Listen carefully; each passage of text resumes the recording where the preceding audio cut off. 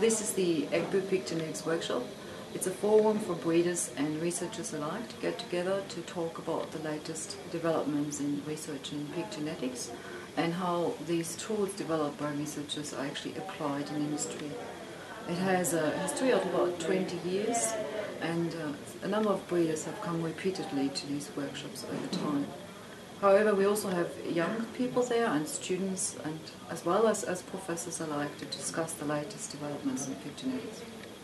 It's very nice to be back here in Armidale. As you probably realise, I'm from England.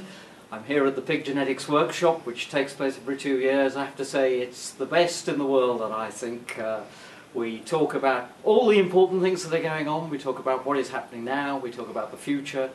We've got breeders, we've got geneticists, we've got people like myself who work between the two in the industry.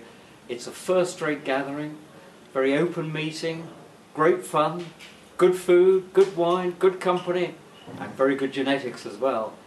So I'm delighted to be here. Thank you very much for the invitation. Very happy to be part of the team here. Thank you. Um, back in Armidale for the biannual um, conference that uh, been attending for quite a while now and but it's a wonderful opportunity to listen to international speakers to get a global perspective on animal genetics and uh, uh, and we uh, you know all need stimulation to try and um, achieve uh, excellence in uh, what we're um, about and that's um, pig breeding genetics so uh, I always enjoy and look forward to coming here. Thank you.